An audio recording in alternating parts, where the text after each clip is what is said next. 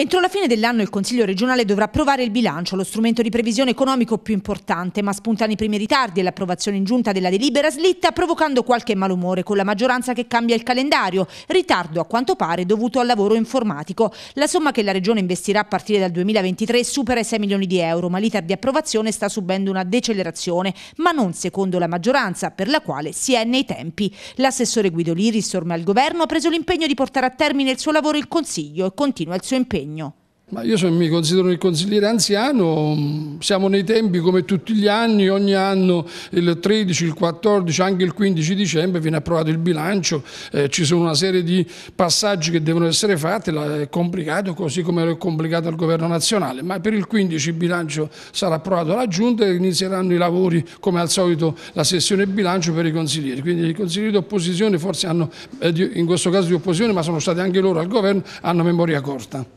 L'opposizione però già affila le armi e anche se non ci sono cose ufficiali sarebbe spuntata tra la maggioranza una sorta di calendarizzazione degli impegni. Intanto sono in estremo ritardo, siamo al 13 di dicembre, non è mai accaduto che la Giunta non ancora approvasse e portasse quindi in Consiglio e nelle commissioni il bilancio di previsione. E poi c'è il grande tema, lo ribadiamo ancora una volta, del caro bollette, dello aiuto alle imprese, alle famiglie, al mondo dello sport, al sociale con la vita indipendente perché si sono liberate risorse, come dicevamo noi, con l'ammortamento in più anni dei debiti degli anni precedenti, sono 37 milioni di euro in più lì più ci sono la scadenza e quindi il recupero delle risorse per i mutui, le vecchie cartolarizzazioni per altri 20 milioni di euro. Vogliamo sapere cosa intendono fare di queste risorse, noi faremo ancora una volta la battaglia sul caro bollette per le imprese, per i cittadini, le famiglie, lo sport e la vita indipendente.